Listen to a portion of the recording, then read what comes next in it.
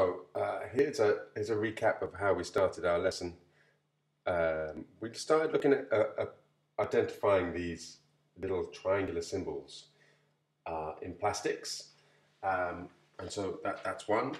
It's got a triangle on it and the the number uh, five and then PP here, and this one. Uh, well, we'll have to look really closely, but there's another little triangle symbol there.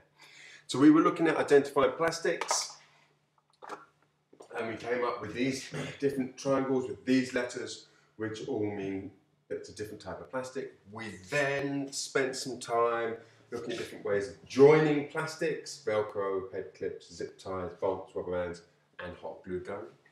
So uh, hot glue itself is a type of plastic.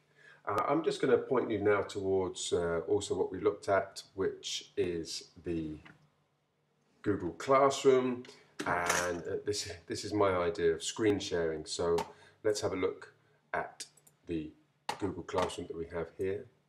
Um, your assignment is going to be posted in the classwork. We've done some bug research. This week we did some of materials and looking at recycled plastics. And then these are available to you these images are available to you on the Google Classroom.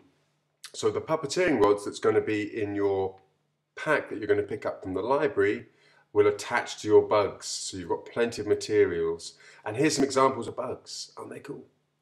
Uh, different types of plastics. And that one's got something else. I don't know quite what that is.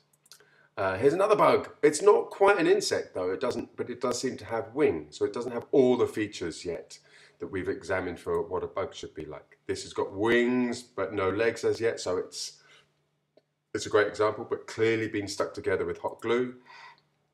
Oh, and that's that's going to be the um, the hot glue gun safety video that you must watch.